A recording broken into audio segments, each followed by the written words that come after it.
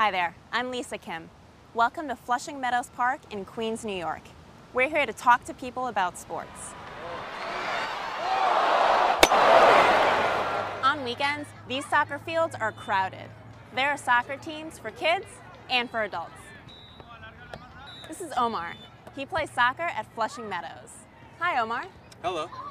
So you're playing soccer today. Who are you playing with? With other friends from my country, we have a team.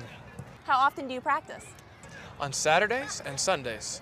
We start at 10 in the morning. Soccer is hard, but it's not all hard work.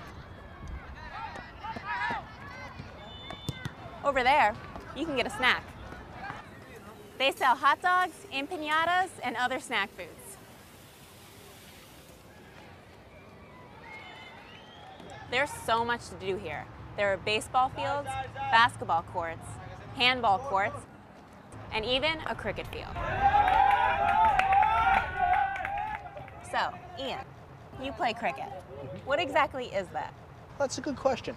Well, it's a team sport. You play it with a ball and bat. There are 11 people on each team. The team with the most runs wins. So, it's kind of like baseball. Yes, it's similar. Cricket is not very well known in the US. Mm-hmm. Where in the world do people play cricket? Well, it's popular in Australia, India, South Africa, and England. That's our home. And of course, I can play cricket here at Flushing Meadows. It's great. What sports do you like, Diane? Oh, I love tennis. Do you play tennis here at Flushing Meadows? Oh, no, I don't play tennis. I watch it. Right over there. This is the National Tennis Center, home to the US Open. The US Open is an internationally famous tennis tournament. People come from all over the world to watch tennis matches here. But you can play tennis and you can take tennis lessons here too.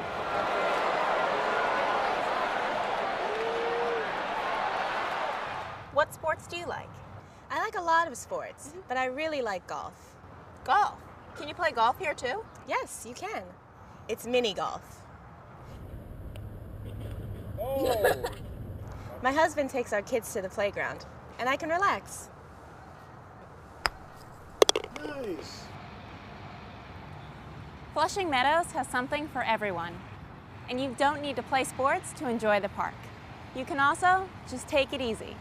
There are many beautiful places to walk in the park, like this.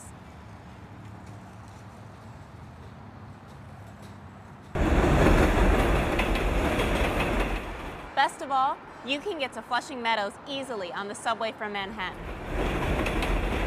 The number seven train takes you right to the park. But where do you get off the train? Just look for the Unisphere. This giant globe tells you that you're in Flushing Meadows. Pretty great, huh? Flushing Meadows welcomes people from all around the world to play sports, watch sports, or just enjoy a day in this beautiful park. Why don't you come for a visit too? Ready? On three. One, two, three.